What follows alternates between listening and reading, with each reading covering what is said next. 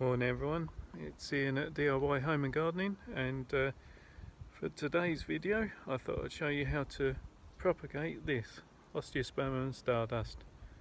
Right, let me uh, flick the camera around and show you what we're doing. Right, so this is the plant in question, Osteospermum stardust. Uh, as you can see it's uh, an absolute massive flower. Um, we're towards the end of May. Uh, it's been flowering for a couple of months already and you can see just how much bud is still to come especially if I actually deadhead it then uh, they carry on for absolutely ages. Um, this uh, particular variety is a hardy perennial. Uh, if you're going far up north then it may be um, a little less hardy but my uh, mother-in-law, uh, I gave some of some of this to her, and they live in Northumberland, and it's quite happy up there. Um, yeah, so it is a perennial. It's uh, an evergreen perennial, so it doesn't die back. Uh, you still see the foliage, and yeah, it's been flowering since about March. Um, ordinarily, they do exceptionally well in the full sun position, uh, which is where I want to propagate some additional stock for to put it out in my front garden. You will notice that this area here, although it looks shady at the moment, it's what I call a part shade position because it does get uh, full sun from about um, half past one in the afternoon. It really does get baked here. Right, so uh, first things first, we're going to look to find a section to propagate from. Um, I did spy a section this morning so we can have a look down here. Well actually if I show you this bit so you will notice here as the plant has got older it develops these little knolled sections which do end up becoming root down here.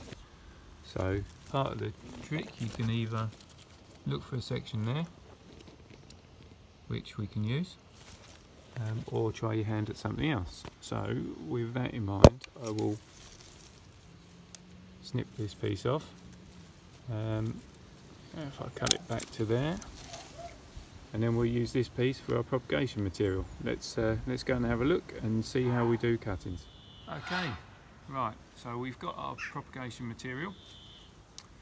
Uh, you'll notice on some of this that we've actually got a section that's already got a root to it well, two sections. There is an element that's got the nodules uh, and then we've got some healthy shoots. So we'll start off with the easy bit. Make the snip there. This bit here has already got a root to it. You'll notice it's got a flower stem. It seems like a, you're being cruel, but you're not, because you want all the growth to go into the, all the goodness, I should say, to go into the root. So Let's take off the flower there. Let's get rid of that. This section still has the flower bud in it. And again, we don't want the goodness to go into the flower bud, so we get rid of that. That there is a pretty good section to plant. We'll strip off the lower leaves so that they don't uh, start decomposing in the compost. Uh, I just use the rooting compound um, top as a bit of a dibber make a bit of a hole in there, cut in, pop it in, like so, slightly firm around, and that's oh, that's good to go. We'll leave that, that will grow on, that will form wheat, uh, sort of some viable roots in a few weeks, and then we can plant that out. One plant, one pot. That one's done. Uh, we will next use this section. So again there you can see that it's got these nodules. So those nodules once they're in the compost they will quite quickly form root. We got remains of a damaged stem so we remove that. Once again flower bud remove the flower bud. Get rid of that. Remove your lower leaves. And we will remove this for the time being because we don't want that. Sounds like there's uh, police and ambulance or something going past, so ignore the sound. Uh, take off these lower leaves there. one more bud there to remove. So that's what we're finished with.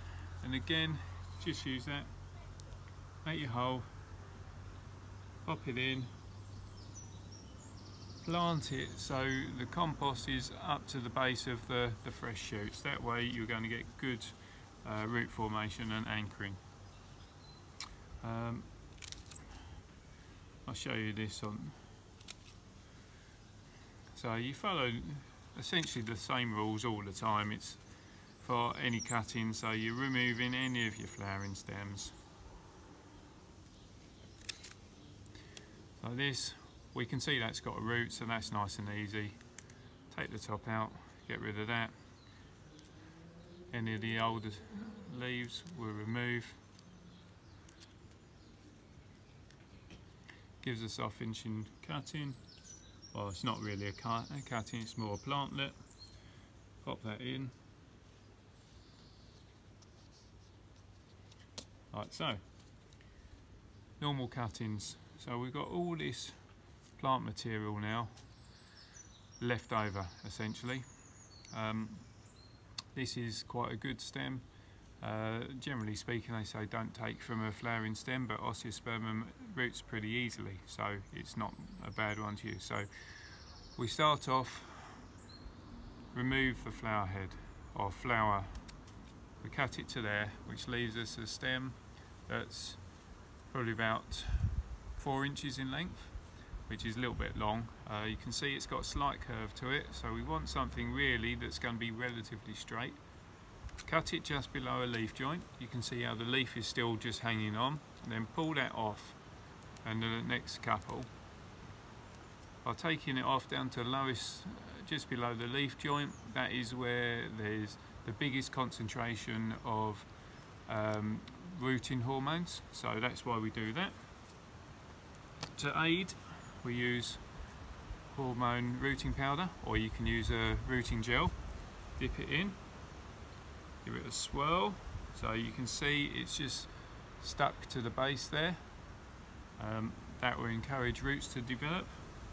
Again use your top or dibber make a hole. You can put just one in if you'd like or what I tend to do. Dip it again but uh, multiple cuttings or multi-strike um, and that way you end up with a, a better pot full to begin with. So again we do exactly the same where we got the root take out the curve strip your lower leaves. Yep.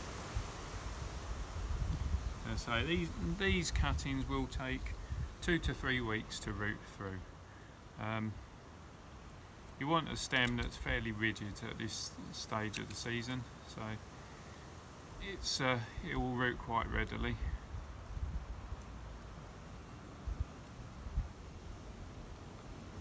and then once I, once I've done this I always uh, put my cuttings in a bit of a shady position or shaded position uh, that way they're not going to get um, too much moisture evaporation and you'll find that success rate is much better. And here we are as if by magic we have a plant that is already growing.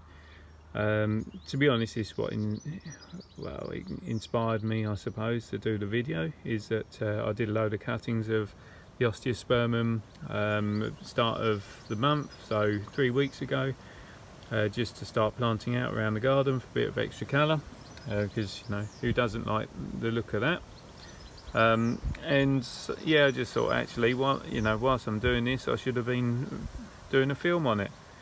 So uh, yeah did the did the first segment just to show you how easy it is. Um, and obviously this is the result of uh, something three weeks later. You will notice obviously it's got no flower bud on it at all or flowers uh, which is um, unusual for where we are in the season the reason being is that on any of the buds that form, um, you can see there, I've been taking, taking the flowers and the buds out as I want all the goodness to go into this root. And uh, so, oh yeah, so I have watered these this morning, so you can see there's a bit of root formation there. Just try and get it out if I can. A bit harder one-handed. There we are. So we've got decent root formation there. So that's, uh, well, I say, ready to plant out and um, go along with the rest of them that uh, I was putting out the other day. So uh, yeah, I'm going to put those out the front and fill in the gaps of the border. So that was my video on how to propagate your own osteospermum. Um, nice and easy to do, or pretty easy to do. Good way to bulk up your numbers. Um, so yeah, thanks for watching. Hope you found it of interest. Uh, please subscribe to my channel if you like what I'm doing, or uh, send me a, a, message on any uh, garden related um, questions, products, and uh, I'll see you soon. Have a good weekend. Bye.